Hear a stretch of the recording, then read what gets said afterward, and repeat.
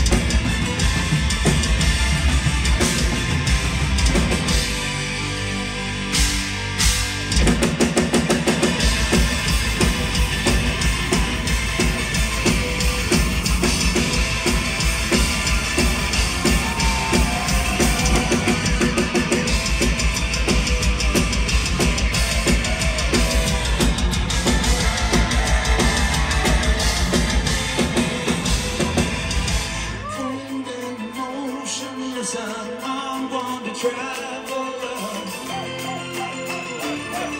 Destroy